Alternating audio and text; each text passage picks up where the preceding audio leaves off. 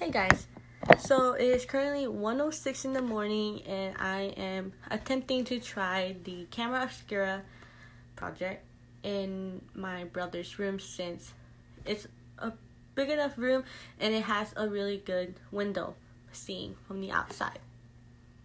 So now we're moving on to the materials.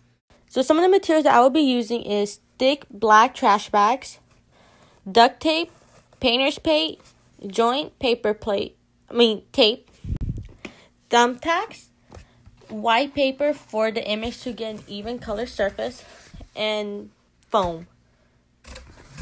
And also my scissors. So now I'm going to show you the room and how big it is and what I want to do to it.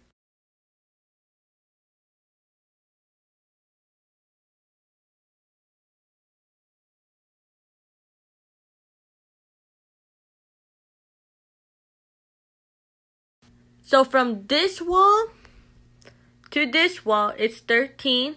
From this wall to this one is 11. And from the floor up is 9 feet. So my idea is to put this white butcher paper from the top of the shelf all the way to the bottom. And this is where our light source is going to come from once I bring up the blinds and cover them.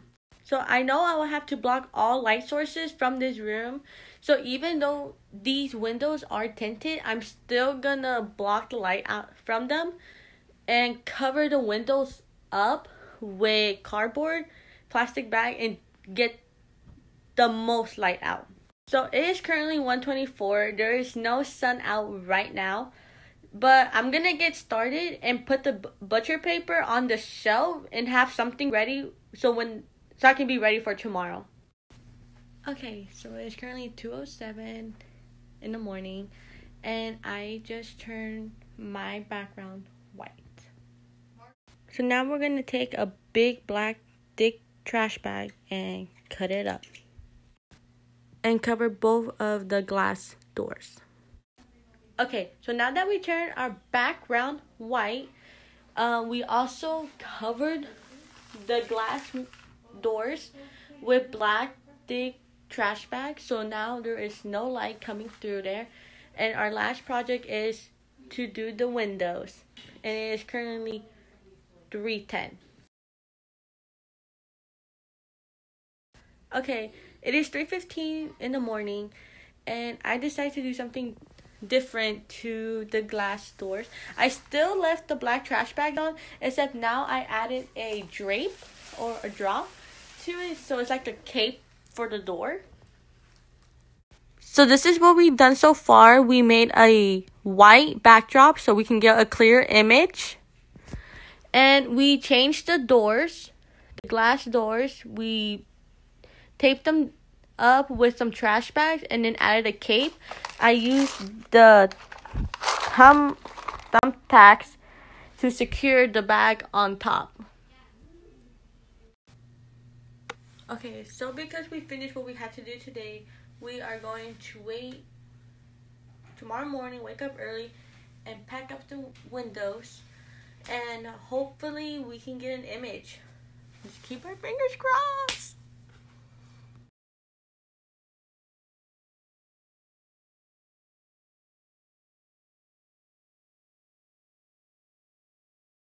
Hi guys, I'm back and it's 10:52 in the morning. It is Tuesday and I just finished um finish up the windows and I'm going to show you how it looks. Okay, so this is window number 1 and it is covered with a black trash bag and there's cardboard underneath. Um so this is how window number 1 looks. And window number 2 is the same thing on the other side. Except I'm not going to be using this window so I just close down the blind and I put an extra bag here for the edges because there was light coming through. And there's also the foam piece along the bottom edge. So now I'm going to give you a tour of the room and show you how much light we actually block out and the finished product of how it looks. Okay so this is our white background. Where we want the image to show. The glass doors have been covered up. And the two windows. Now we're going to turn off the lights. Okay, so I just turned off the flash. I'm going to go turn off my laptop. And y'all going to see how much light actually comes. So this is the white background. This is the glass doors. And here are the windows. I can we can see a little light right there.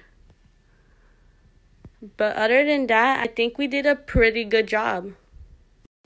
Okay, now that I showed you the final product of the darkroom, now I have to cut out a peephole where I want the image to show and where the sun is going to hit on the image and hopefully portray the image on the white on the white screen and we're to see it upside down.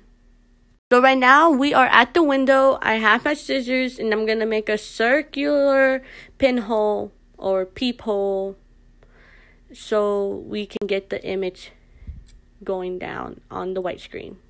Okay, so I just finished cutting out the circular hole for our image to show hopefully on the white screen.